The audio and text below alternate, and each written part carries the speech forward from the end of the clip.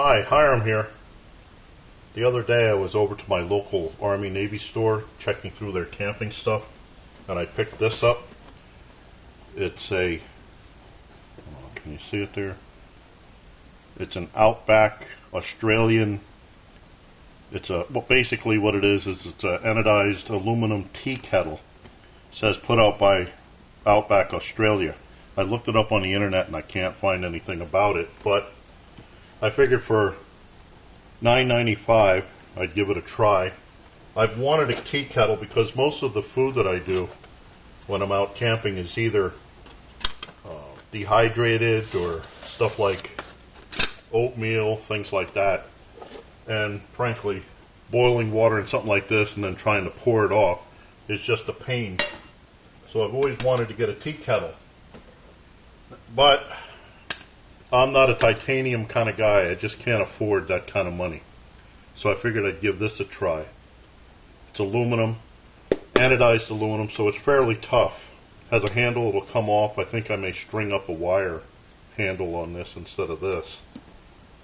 Now what I've done is I've already put in a uh, the configuration that I think I might carry this in.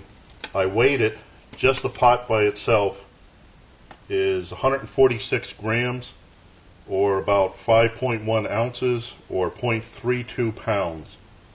Definitely not Gramweinie stuff. With the stuff that I have in here, it now weighs 424 grams, 14.95 ounces, or 0.934 pounds, almost a pound. And what I have in is the mini Trangia stand with a small Trangia burner.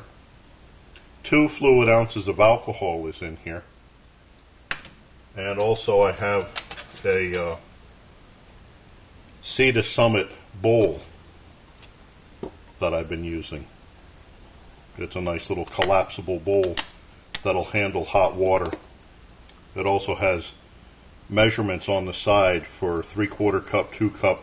It's basically a two cup container if you go all the way to the top. But this is pretty handy. And it fits inside this kettle. So this is what I have inside. I think I'm going to try it with this. But for today I just want to do a boil test. So I'm going to use the regular Trangia stand and the small burner.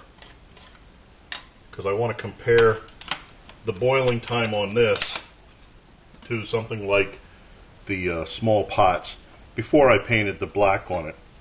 If I remember right, this the boil time on this for two cups was nine minutes eight seconds. So I'll use that for a comparison on this. I have two cups of water here, setting at about 56. This will raise the temperature, I'm sure, putting it in here.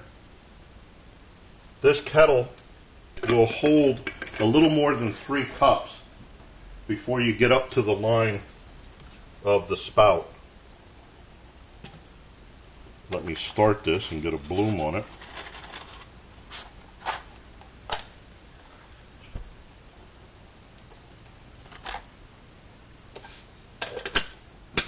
Now if I just carried the tea kettle I'm sure it would be, well like I said it was what 146 grams. It was about 5 ounces. This may not pan out, who knows, but I just thought I'd try this configuration later. Okay, I have, I think there's a, just about a bloom started there. I have to turn this pot around.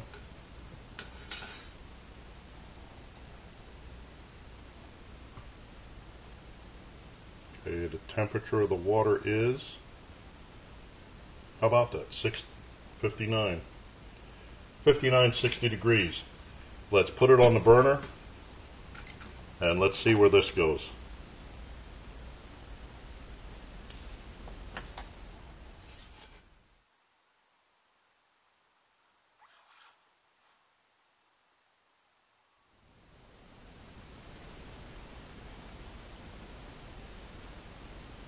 There we have 210. 211, 212 at 839.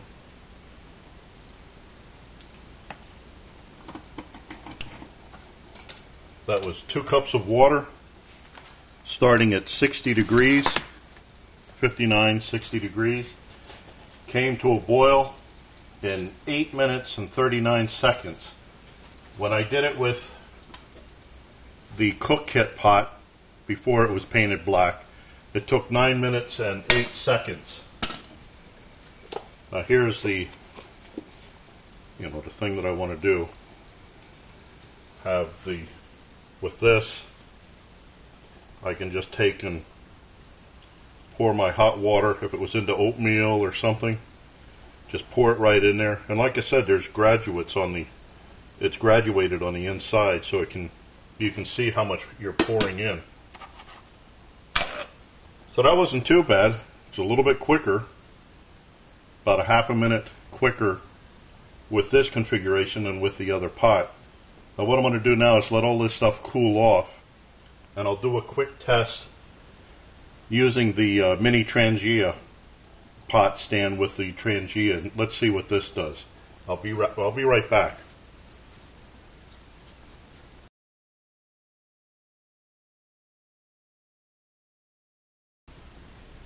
Hi, Hiram here. I'm going to do the second part to this test. I figured while I had all the stuff out, I might as well give this mini Trangia stand a test. I've let everything cool down. Uh, I filled this back up to two ounces of fluid, fluid ounces of denatured alcohol in here, and we'll give, try with this. The reason why I'm trying this with this one is, I just think that this Westwind stove stand is a little bit slow. I thought it would be a really cool stand in the fact that it breaks apart into three pieces you know, that stack up real nice and neat and flat, lightweight. But if you put a thermometer, you know, like one of these things, if you shoot it onto the side, this tends to get a bit warm. The flames come up and flick onto this part, and then the whole thing acts like a wick, a heat wick. So I'll try it with this. Let me get this started and get the balloon going.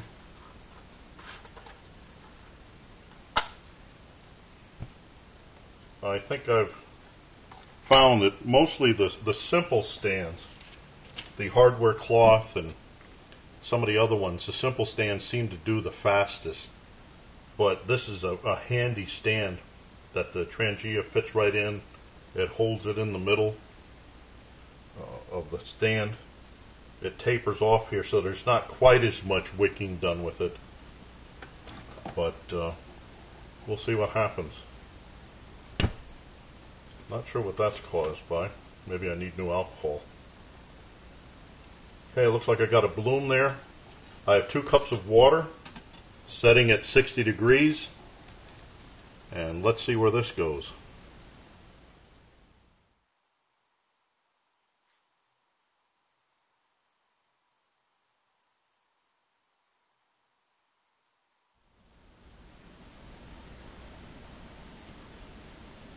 There we have 210, 211, 212 at 631. So this time we bought two cups of water starting at 60 degrees to a full boil in 6 minutes and 31 seconds. Uh, the last time using the Westwind stove it took 8 minutes and 39 seconds, almost 2 minutes more. Oh, I just thought of the other thing. Uh, the other thing that I think is wrong or incorrect about this is the magic number with a Trangia stove, a burner, the distance between the top of the burner to the bottom of the pot seems to be about one inch. That seemed one inch plus or minus a little bit if anything, more a little more than one inch. But the one inch seems to be the magic number to get your best burn time, boil time. On this, when the Trangia rests on this part, there's only about three quarters of an inch to the bottom of the pot. I'd often thought of grinding this down another quarter of an inch and then testing it to see what it goes like. that might just bring this back up to a good time. But that missing quarter inch, I think, is hurting this stove. So anyway, here I have myself a pot, a kettle rather, to use when I go back out, especially in winter camping coming up. And I think I may just try this on the outside. I like the Trangia burner a lot, even though it's heavy. Uh, you get to hold two, three ounces of alcohol inside the burner. I got a little steam coming off there. So anyway, that's my new tea kettle. Sorry it's not titanium, but just can't afford that kind of stuff. I only have a couple of things that are titanium. Uh, a Vargo spoon for one, and I have a small titanium Esbit burner somewhere around here. So, I hope that helps some of you. Uh, as always, I look forward to your input, your questions, remarks, helpful suggestions, and as always, watch for my buddy Max. Bye now. Know you've been a good friend, and that's in the thick and thin.